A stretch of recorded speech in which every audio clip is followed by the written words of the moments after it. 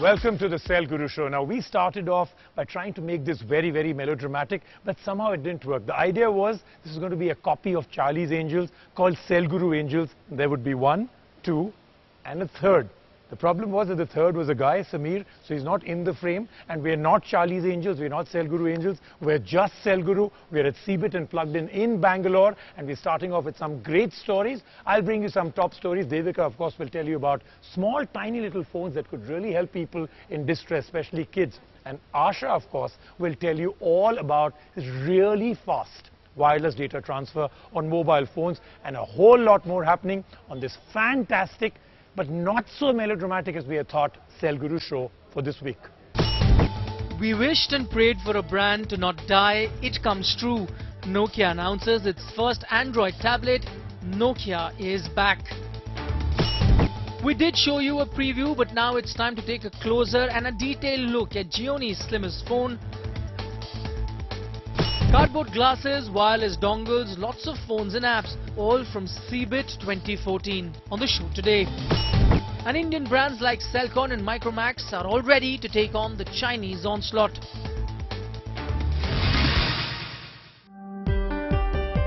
Before we head to Bangalore for CeBIT 2014, a quick look at all the news from the mobile world. Surprise for all Android fanboys who wished Nokia would have picked up Android over the Windows Phone platform. Nokia took less than 7 months to put everything together and now is back with a bang. After Microsoft has now officially removed Nokia from the Lumia branding, your dreams of Nokia being Nokia and with Android comes true. Introducing the N1. The N1 is a tablet designed and executed completely by Nokia. The new Android tablet features a 7.9-inch display and is thinner than Apple's iPad mini 3 at just 6.9mm. The device is powered by a 64-bit quad-core Intel Atom Z3580 processor clocking at 2.4 GHz. It also features 2 GB of RAM, 32 GB storage and 8 megapixel rear camera, a 5 megapixel front-facing camera, a universal insertion 2.0 USB-C type port and a 5300 mAh battery that Nokia says will provide up to 9 hours of usage time per charge. It runs the Android 5.0 Lollipop and ships with a special tablet version of the Z Launcher app that is exclusive to the N1. The tablet will be priced at around 250 US dollars. We aren't sure that it will make its way to India, but we are really happy that Nokia is reborn. Indian brands are all ready to take on the Chinese onslaught and are coming up with good value for money phones. One such company is Celkon, which launched its Millennia Epix Q550. Priced at 10,000 rupees, the phone packs in a quad-core processor and runs on Android KitKat. There is a 8 megapixel camera with LED flash and a 2 megapixel front-facing camera. It features a 5.5 inch HD display. We will review the phone very soon on Cell Guru.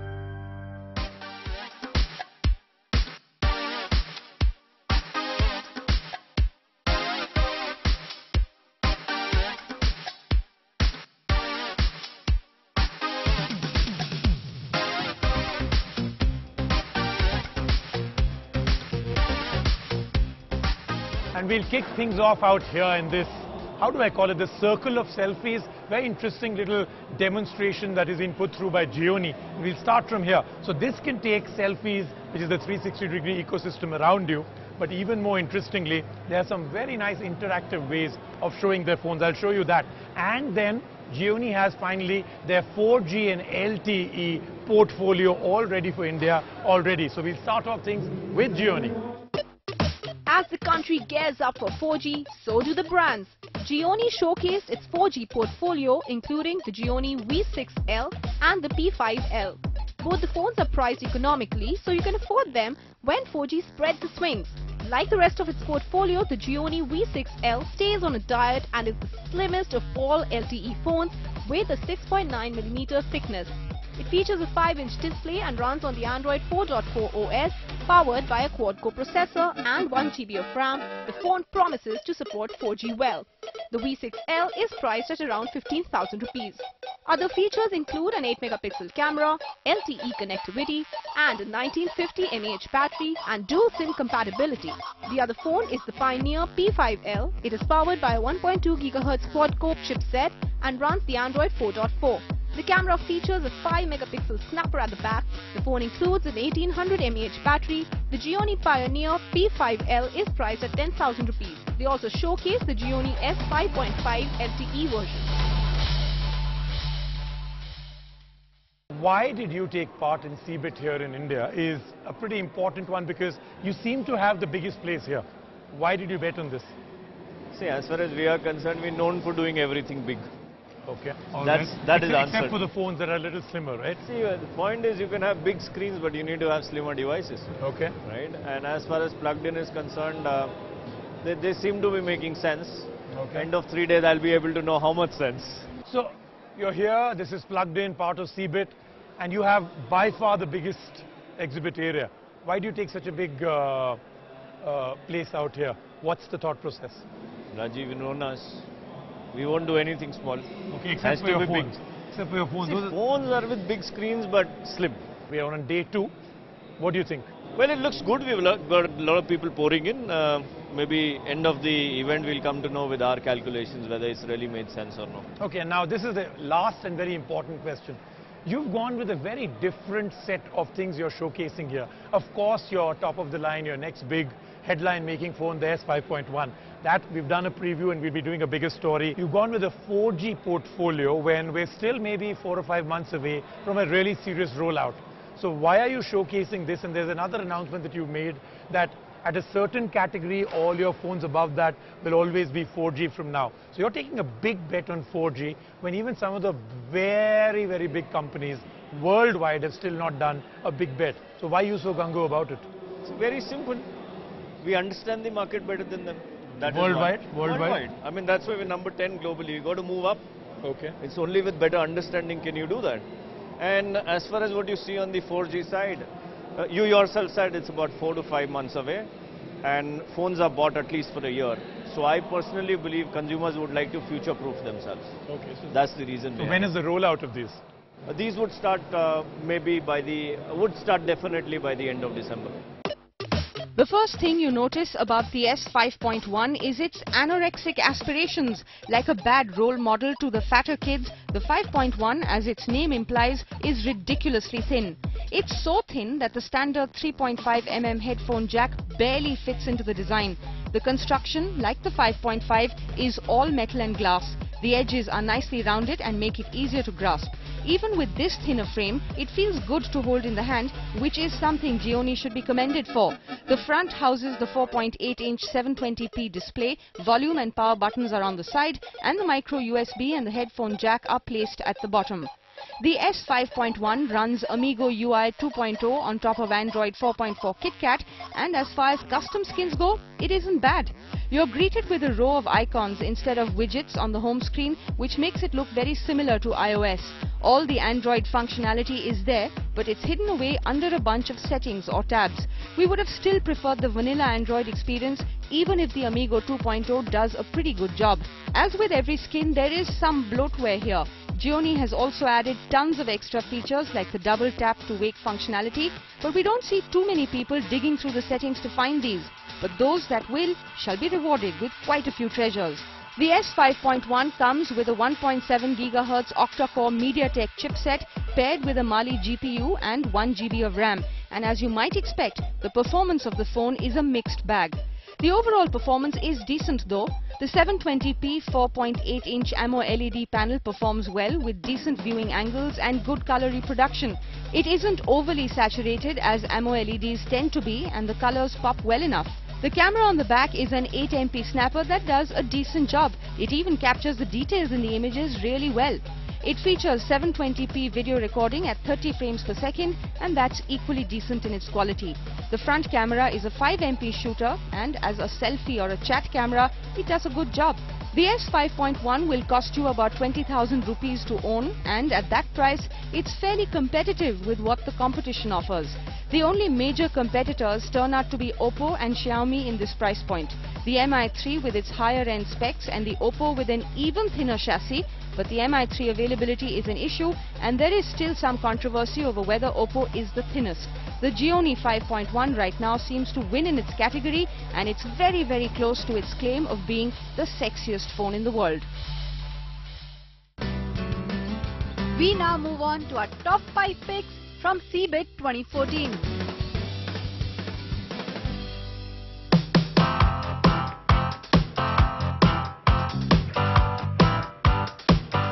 My first product was Snap, a brand new speakers by Mobitron called Dice. Now these are Bluetooth portable speakers and look how cute they are. They actually come in different colors and they remind me of Juju. So you can easily connect them using Bluetooth to any device and you can actually attach them to your phone making them very portable. My only hassle with these speakers is the fact that it costs 1500 bucks which I think is a tad bit expensive when you look at the other speakers available in the market. But they caught my eye so I thought I should talk about them. Meet Andy, the toy car with a smart twist. Andy is not just a remote control car but an intelligent robotic device which teams up with your smartphones to give kids a toy car experience like never before. Andy can be controlled with your Android devices but you will need two devices to get this thing going. A smartphone that sits in the driver's seat of car and acts as a receiver and another device that acts as a remote control. Getting the car working is literally child's play. All you need to do is download the Andy app from the Google Play Store on both the devices and you're set to vroom vroom. As far as the specifications of the car are concerned, it is made of acrylic, looks a tad bit fragile but it holds its ground and can survive a few drops here and there. Housing a 2200 mAh battery, the car has a life of about 4 hours before it needs to be recharged. Andy communicates with a smartphone over Bluetooth, 3G or Wi-Fi, making it feasible to control indoors and outdoors. Andy can be yours for a price of rupees 3850 a bit pricey we might add. But if you still want to take Andy out for a spin, the smartphone control car is available for sale on snapdeal.com.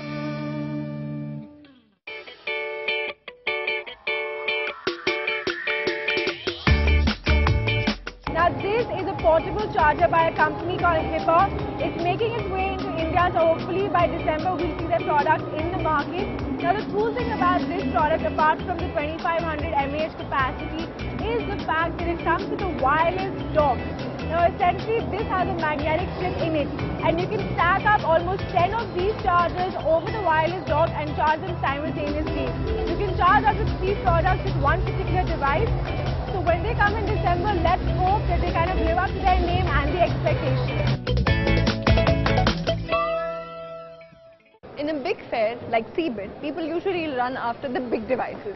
Now at Cell Guru, we consider and respect the small as well. You want to check out the Chinese smartphones that are so tiny that you want to take a microscope for it. In a world where everyone wants to have a big phone, the Chinese are going the small way, like these small and cute Jimmy phones. They have a range of compact phones for everyone, from babies to grandparents. Do you see this blue small Hello Kitty-like phone? This one is for your kid. It's called the JI06 GPS. Yes, it has a highly sensitive GPS tracker, so you know where your kid is going exactly. Besides that, it has geofencing capabilities. This means you set boundaries around a school or a playground and you will know whenever it is trespassed. The child can make SOS calls and also comes with a do not disturb mode. The Epson Moverio BT200 is a smart glass. Before you move on and dismiss this as a Google Glass clone, in fact it is something else entirely. You see, Epson uses a specialized pair of lenses which outputs images separately for each eye. If that isn't cool enough, it runs Android 4.0. And if that still isn't cool enough, the display that you see in front of your eyes can be up to 80 inches. Not that it makes it difficult to see anything else, the AV in front of your eyes is transparent, allowing you to see the rest of your normal view in your POV. What isn't cool is that it still looks a little bulky and you have to carry around a separate controller or touchpad to actually use the glasses. What is cool is that the touchpad runs Android 4.0 so that means a lot of potential Moverio apps in the future. The glasses have sensors and the capability to view 3D content built in, so you could run a lot of crazy AR games on your glass. The possibilities are exciting. The coolest part is the fact that you can pick one up right now. They go on sale online for $699.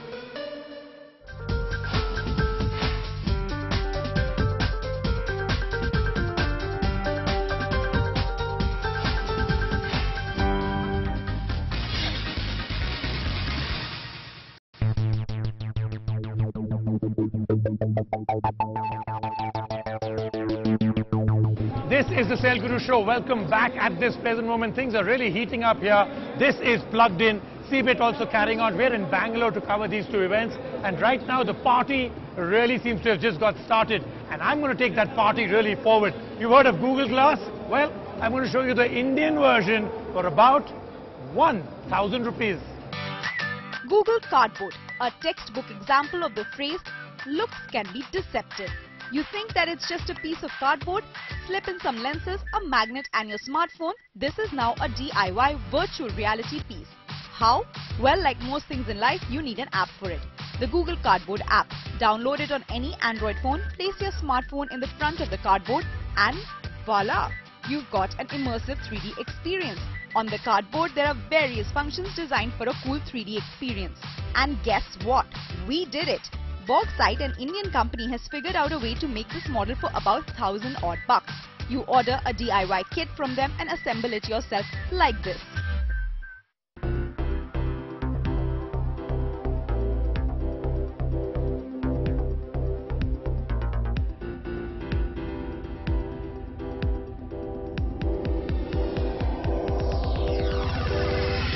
Slip in that phone of yours and you are set.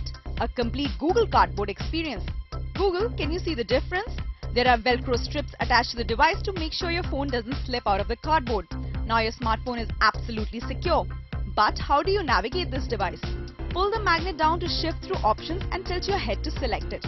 Cool, right? The interesting part is that besides their flagship app, you can try other third-party apps on the Google Cardboard, like an app that leads you through spooky tunnels called the Halls of Fear, and an app that lets you watch 3D movies through this killer device, VR Cinema for Cardboard.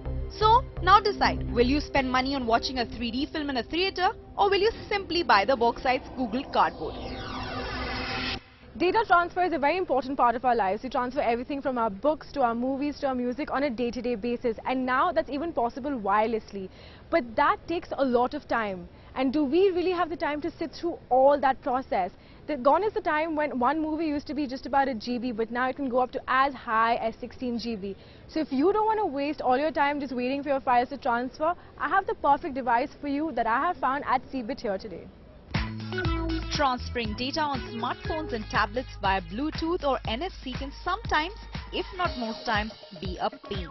It's slow, connections are weak and you're always second guessing whether your data is completely transferred or not. But behold, we found something at CeBIT 2014 that's going to change the way you transfer your data.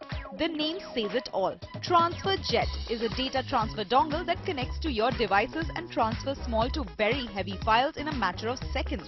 TransferJet goes beyond the call of a regular dongle by enabling data transfer between devices at a rate of, wait for it, 540 Mbps. The physical transmission rate is 560 Mbps. A 10 MB file can be transferred in less than a second. A 100 MB HD video can be transferred in 2 seconds. What does this mean? It means that no longer will you have to sit and stare aimlessly at your devices while your data transfers at turtle space. This means that now transferring all your large files, be it movies, music or documents, is quick, easy, fast and furious. Okay, maybe that's going too far. The catch is that currently you will need to bulk up your devices with the dongle. It's not the prettiest sight but technology always comes with a price. It also does improve with time. The good news is that the company is also working towards building this tech right into the smart devices. This will essentially allow you to get rid of that dangling dongle and your devices will do all the work automatically. Neat, ain't it? That then was the Cell Guru show for the week. As you did see me say right in the beginning of the show, this is supposed to be some kind of an inspired show from Charlie's Angels. I'm so glad I didn't do that. I started off with one angel missing, I only had two. You can notice behind me, I have none. So the Charlie's Angels, or at least my Angels, have left the building. I think I should too. We'll see you right here, maybe CeBIT 2015 in Bangalore or somewhere else here in India.